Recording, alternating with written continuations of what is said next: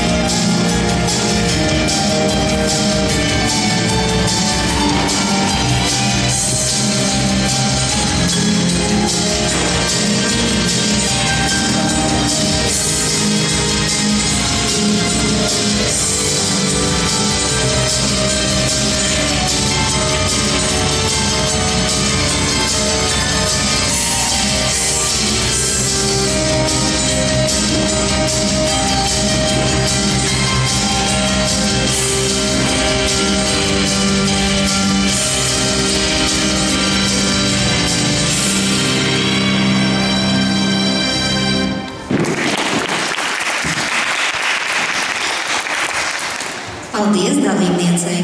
Uz laukumu tiek aicināta Dānija Andrijevska. Vērt.